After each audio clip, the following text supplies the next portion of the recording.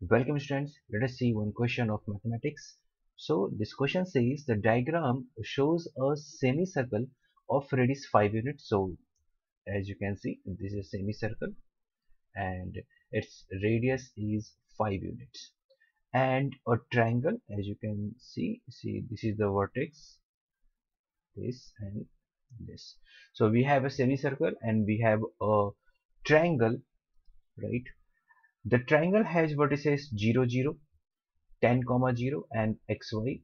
It is clearly shown in the diagram. So its coordinate is 10, comma 0 and its coordinate is xy. We can name it as well. So let us suppose this is the point O, this is the point A and this is the point B. So triangle OAB is clearly visible. Right xy is a point on the arc of the semicircle. So xy is a point and it means point a. Which of the following is an expression in terms of x for the area of triangle? So we have to find expression of area of this triangle OAB so how we can write? And our answer should be in terms of x only. So see this is a very conceptual question. First of all let's see triangle OAB is a right angle triangle. First of all, we we should observe that it is a right angle triangle. How and why? Right angle triangle. See, we know that in a circle, any diameter makes a right angle at any point of the circumference, right? On the circumference at any point, it will make 90 degree always for sure. So this is as well 90 degree. So from this concept we can mark this angle as 90 degree right? So this is going to be 90 degree. Why? Because this is my diameter of the circle or semicircle right? Now so what's the formula for right angle triangle uh, area of right angle triangle so it should be 1 by 2 into base into height. What should be my base and what should be my height? So the side opposite to 90 degree is your hypotenuse. The side opposite to 90 degree is your hypotenuse. So it's confirmed that these two pairs of sides will make base and height. One will be base, other will be height. So basically it's clear now that I have to write 1 by 2 multiplied by AO multiplied by AB. One is the base, one is the perpendicular. Okay, let us try to find. So first of all, I am going to write expression for AO. What's the AO? We have the coordinate of point O. Yes, it's 0, 0. We have the coordinate of point A. So we can write AO with the help of distance formula as x minus 0 whole square plus y minus 0 whole square. So it's simply under root x square plus y square. But we cannot put it directly in this expression. Why? Because I don't want in terms of y. I want my answer in terms of x only. Okay, let us try to find AB what's the AB we have the coordinate of B we have the coordinate of A as well. So with the help of distance formula again we can write distance AB so it should be x minus 10 whole square plus y minus 0 whole square. So it should be 10 sorry. We have to write x minus 10 whole square. It should be x minus 10 whole square plus y square. But Again, we cannot directly substitute this in our expression. Why? Because I don't want my answer in terms of x. Now, what we can do? I have to replace y in terms of x. I have to replace y in terms of x. So, for this, we have one information which is not used till now. What?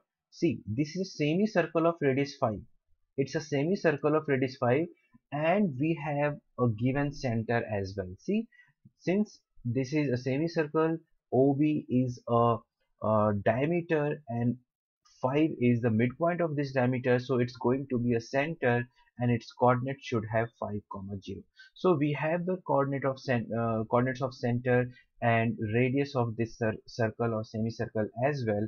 So we can write the equation of this semicircle as x minus 5 whole square plus y minus 0 whole square should be equals to 5 square right? So from here we will try to simplify y square in terms of x square. So this will be x minus 5 whole square plus y square is equals to 25 we can replace this y square directly in one go in one step we can replace this y square in terms of x directly. We don't need to find y exactly. So y square is going to be 25 minus x minus 5 whole square. Just simplify this. So 25 minus a square plus b square minus 10x so this is going to be 25 minus x square minus 25 plus 10x see 25 25 will cancel out so we are getting 10x minus x square this is y square we can replace everywhere with this substitution of y square so let us substitute y square in expression of AO. So what should be my AO? AO should be equals to this is x square plus y square. In place of y square now I have to substitute 10x minus x square. As you can see I have to place 10x minus x square. So when we will simplify this we are getting x square plus 10x minus x square. So x square x square will get cancelled out. So we are getting under root of 10x. Now substitute in the expression of AB. What it will be? It will be x minus 10 whole square plus y square. What's the y square? y square is 10x minus x square. So let us simplify this expression carefully.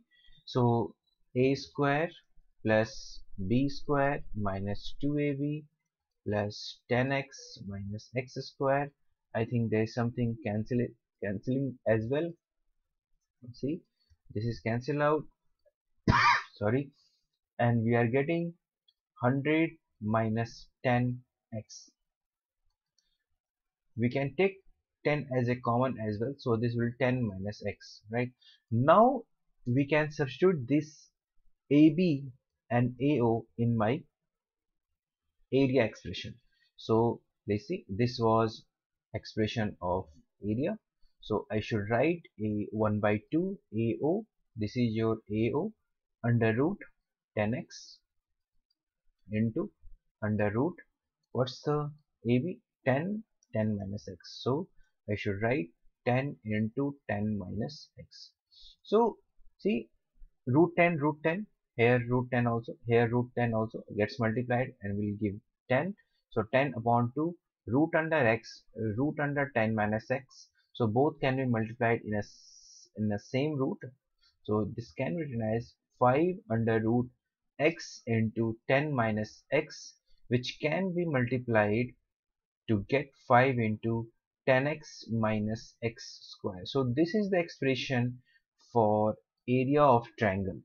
Let us check the option 5 into 10x minus x square. Yes we have the first option that is the 5 times 10 uh, square root of 10x minus x square. So students uh, I have completed this question I hope you have understood this question and uh, if you like this question and solution explanation so please like this video and subscribe this channel for such more question for Shiv Nadar University. Thank you. Thanks for watching.